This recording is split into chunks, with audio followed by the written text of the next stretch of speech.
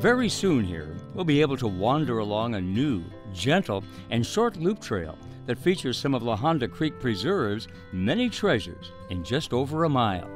In the winter of 2022, we got a sneak preview led by Midpen Maintenance Supervisor and expert trail builder Don Mackesy and Midpen Ranger Michael Barnes. Even if you're not a big hiker, you can still get out here, you could still get the feeling of summiting, you could still take in the views and have an experience and really get a good sense of what this preserve has to offer. It's a really unique trail out here. It gives you a little of everything in just a real short amount of time. We're really looking forward to having just about everybody be able to experience all of those uh, really special environments out here. The trail leads us over rolling grasslands and grazing areas and delivers great views of La Honda. This is terrific. Wow. Before leading us into deep forests and lush vegetation. Hey, this is nice and cool and forested. What are we uh, looking at here in terms of vegetation? Uh, we've got some big Doug firs here, um, uh, some oak trees. We experience a sheltered world of woodlands and wood rat nests and geological reminders of our changing coastline. This would have been uh, basically lava essentially close to the surface coming up when this all used to be under the ocean, under the Pacific.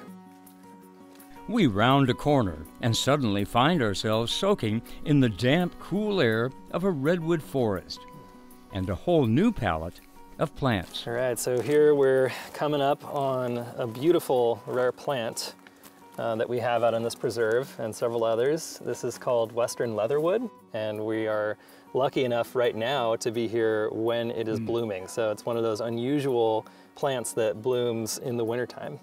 Protecting plants like this leatherwood while building a trail right next to them takes careful planning.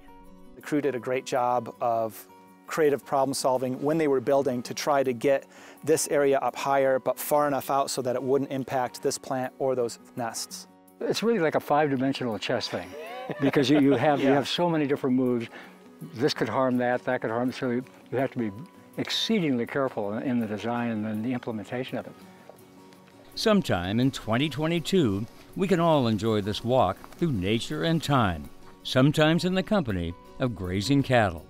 As long as we don't leave the trail and bother them, they'll give us plenty of room to appreciate the work they're doing for nature and for us.